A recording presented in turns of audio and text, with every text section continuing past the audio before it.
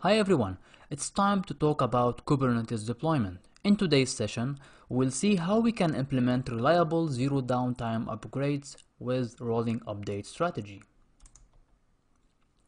Kubernetes provides two native deployment strategies that we can take advantage of depending on the needs of the system.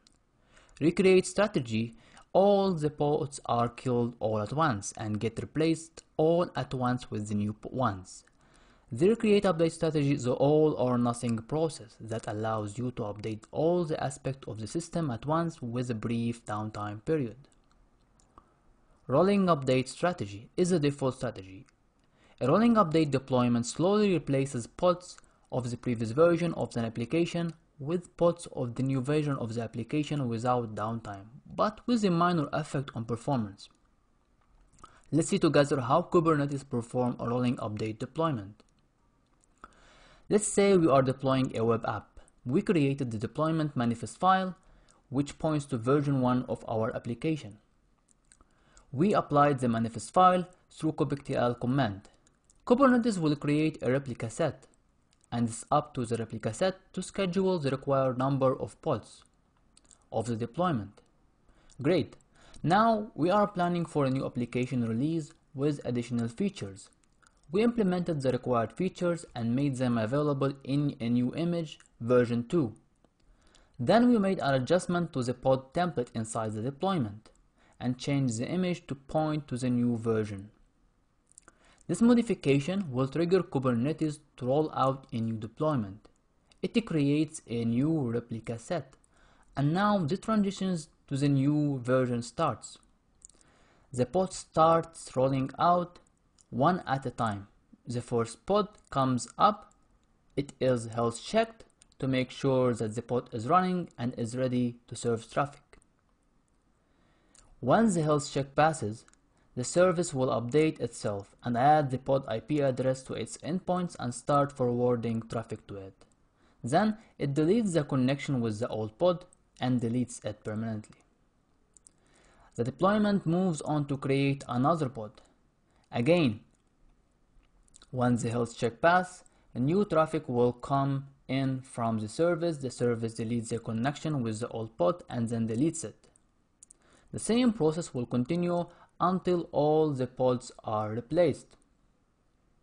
This is how a rolling update deployment can do reliable zero downtime upgrade of software running on Kubernetes.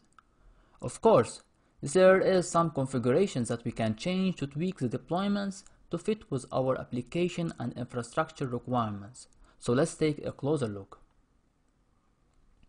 Since I am talking about the deployment strategy, I'm showing just a portion of the deployment manifest specification to focus on specific field for the uh, deployment strategy.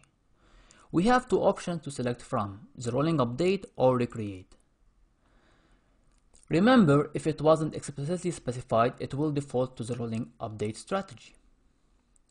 Two important options can be used to help us fine-tune the update process, max surge and max unavailable. Max surge ensures only the certain number of pods are created above the desired, desired number of pods. In other words, these are the maximum number of new pods that will be created at a time. Maxim and a max unavailable, this specifies the number of pods that can be unavailable during the update process. In other words, these are the maximum number of all pods that will be deleted at a time. The value of these numbers can be an absolute number such as 3, 4, 5 or a percentage of the desired, desired pods, for example 10%. If not specified, it defaults to 25%. So in this situation, we have 4 pods and if it uh, uh, is 25% then the max surge and max unavailable will be 1. To illustrate this better, let's take this deployment spec as an example and apply an update. So we have four pods. The max surge is 1, the max unavailable is 1. And let's try to answer these two questions. At any time, what is the maximum number of pods that will be available? This is equivalent to the replica plus max surge, which is 4 plus 1. this will be 5. This means that we will have at most 5 pods available during the update process. The second question. At all times, what is the num minimum number available number of pods to service traffic? 4 desired pods and 1 max unavailable, so 4 minus 1. This means during the update, at least 3 pods will be available to serve traffic. Another essential concept in Kubernetes is pod readiness. We already touched on it briefly in the animation and we saw how it will allow the deployment to gradually update pods while giving us the control to determine when the rolling update can proceed. The default configuration for the deployment will result in a pod that is ready as soon as its container starts. We might have multiple containers, but we will assuming that we will have one container in this scenario. However, this is not an indication that the application can serve end user requests properly. Some application might have other dependencies and need some extra time to warm up, so it cannot service the request upon starts, start startup. To overcome this problem and avoid service disruption, Kubernetes provides us with different mechanisms to perform health check. This includes readiness probes, liveness probes, and startup probes. Today, we will focus on the readiness probes, which can be used when rolling out a deployment to detect if an application is in a healthy state and ready to handle end user requests. Once the health check passes, the Kubernetes service will add will decide if the new pods will be added to end to its endpoints.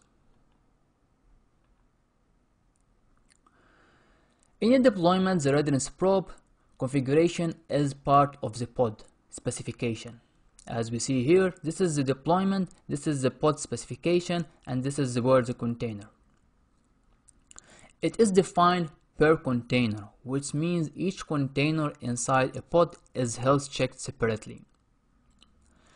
HTTP GET probe is used to perform an HTTP GET request against the container listening on a specific port. So here, the probe will hit the uh, endpoint called healthy on port 80 on the container Nginx container. Any response with status code greater than or equal to 200 or 400 indicates success. To further control the behavior of the readiness probe, we can configure the following fields. Initial delay seconds is the number of the seconds after the container has started before the readiness probes are initiated. Remember to increase this number if you are expecting containers to take some time to warm up like loading a huge amount of data. Period seconds. How often in seconds to perform the probe? By default, Kubernetes will call the probe every 10 seconds to check if the application is responding correctly. Timeout seconds. How long we wait before timing out the probe. This would tell us how quickly the container needs to respond. The default time is 1 second. Failure threshold. We don't want to perform probes forever. So when a probe fails, how many times Kubernetes will try before giving up and marking this pod as not ready? The default is 3 failures.